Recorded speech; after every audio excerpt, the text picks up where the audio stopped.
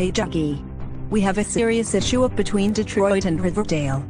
Oh, what seems to be a problem, Betty? Remember we have a massive G8 Summit Pure massacre in Detroit five months ago when William and Little Rick took over the city. Then Maya's elder brother Jesse killed our last year's school president Jason Kyriakakos five months ago. Yes, I know all that. Um, are they doing the same shit just like last year again? Like Jason was falsely got arrested in front of everyone when Maya is singing during the national anthem and then Jesse fatally killed Jason? That's falsely murder. I second that, head. I also just found out that Jesse Mandel, Maya's elder brother, and Reggie's cousin, has escaped in prison, and this time, he partnered with William and Little Rick.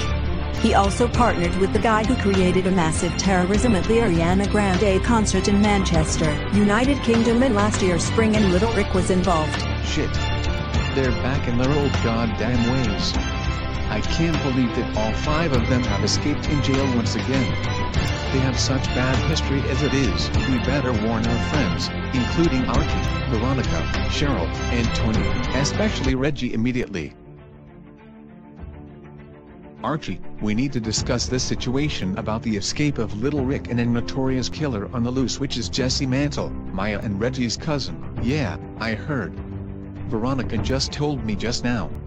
I'm really getting worried about them. This is a scary situation for the two out of three triplets and for Maya and Reggie. Well according to so-called Edgar Evernever is planning to work with Hiram Lodge, the Black Hood and the Gargoyle King. Between here and Detroit, no one is safe. And that so-called farm crab is seriously pisses me off for sure. I agree with you, Betty. Daddy is taking over Riverdale and Detroit, and I don't know why is he releasing William, Little Rick and Jesse. We must put a stop of this immediately. The fact of the matters is that he's taking over both Riverdale and Detroit. He could be the next Donald Trump. Such as Donald Trump 2.0. We must put a stop of his master plan.